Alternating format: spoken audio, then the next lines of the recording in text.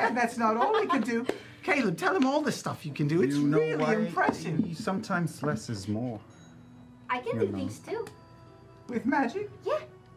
Like what? Like um, Not to me, not to me.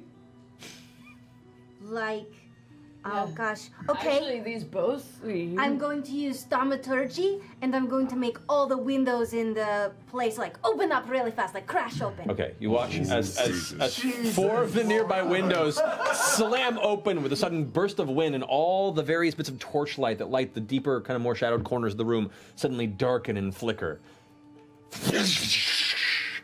The music suddenly comes to a stop. Everyone kind of holds their position and kind of glances over to the table we are all sitting.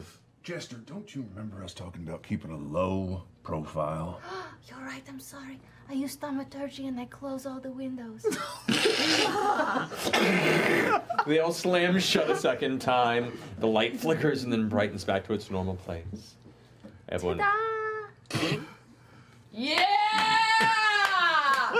Yeah! Come see me tonight at the carnival. I'm really good.